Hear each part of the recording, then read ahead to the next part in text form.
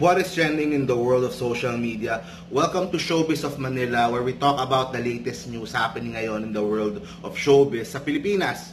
So ngayon po, ang pinakamainit na balita ngayon, yung cryptic post ni Bea Alonso uh, kung saan sinabi po niya ito, quote, You can't make the same mistake twice. The second time you make it, it's not a mistake anymore, it's a choice. Enough.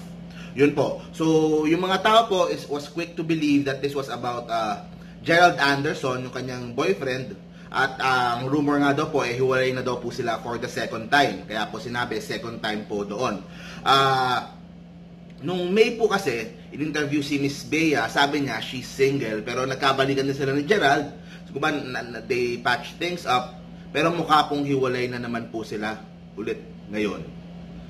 Uh, So, ang rason nga daw po is because itong uh, ongoing affair daw. Ito po, ito po yung uh, pinag-uusapan lang po. So, we're not sure po kung totoo po talaga between uh, Gerald Anderson and Julia Barreto. Na sinasabi pong dahilan din ng hiwalayan ni Julia at ni Joshua Garcia.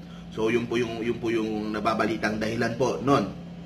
Uh, uh, nitong isang araw po, nagkaroon, mayroon po isang post from a netizen, si Miss Kat Cabrera, uh, kung saan pinost po niya ang isang picture ni Gerald Anderson and uh, Julia Barreto spotted together in a party uh, sa isang birthday party po ni Raver sa, sa BGC. So ito po yung caption nung nung post na yon. Para sa lahat na nagsasabi na nagsisinungaling ako at naninira lang, nope, I'm not lying. And anong makukuha ko doon? There you go, yan lang, ipakita ko. Hindi lang my friends, dahil birthday ni Raver, hello. They went on the same car together alone and iba gestures nila. Tinatago man, halata pa din okay. I don't like to assume or judge pero kawawa kasi ang sobrang manluloko. I already sent a message to Bea. Clearly, we don't know all the details kung ano man nangyayari in their real personal life. Pero one thing is for sure, he doesn't deserve Bea Alonso. After everything na ginawa niya, minaali and di siya ginudge siya pass niya sa ginawa niya sa mag-best friends, which is Kim and Maha. So, minahal niya pa din even kung nagka-movie sila ni Pia. Na niloko niya pero pinatawad at mas lalong niya pa ding minahal. She even organized a surprise birthday party for him, nakakaloka. And lahat na lang ba na leading lady niya, lalandiin niya o jojowain niya, ganun, ganun ba yon? Sabi nga nila, once a cheater, always a cheater. I adore and love Bea so much. I hope masakit man o mahirap.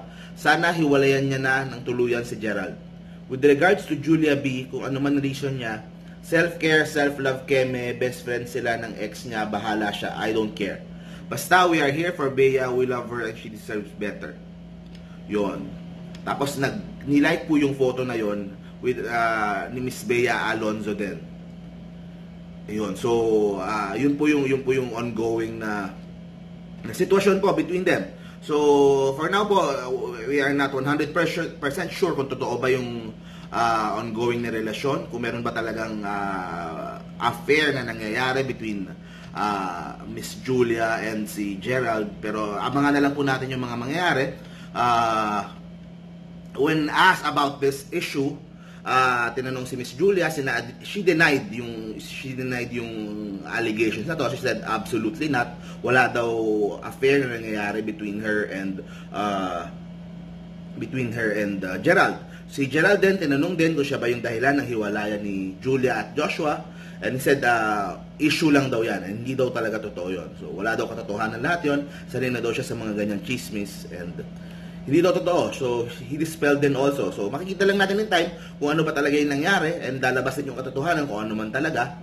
So, what do you guys think? Uh, do you think uh, meron ba talagang affair between Gerald and Julia. Yun yung naging dahilan ng hiwalayan ng kanilang mga uh, respective na relationships. So please comment down below what do you guys think. Thank you very much for watching Models of Manila TV. See you guys on my next video. Thank you very much for joining us.